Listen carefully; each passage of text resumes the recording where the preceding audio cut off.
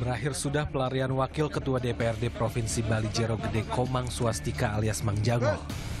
DPU kasus narkoba ini ditangkap tim gabungan Polresta Denpasar dan Polda Bali Senin malam. Mang Jangol ditangkap di dalam kandang sapi tidak jauh dari rumah adik sepupunya di wilayah Kabupaten Gianyar.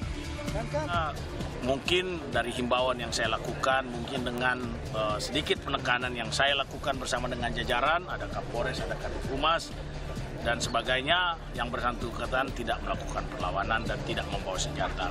Apabila saya sudah katakan sebelumnya yang bersangkutan karena ditemukan senjata maka akan dilakukan tindakan tegas yang terukur. Tapi yang bersangkutan menyerah diri mungkin masih paranoid ya. Untuk pemeriksaan lebih lanjut, Mang Jangol ditahan di sel tahanan Makobrimo Polda Bali.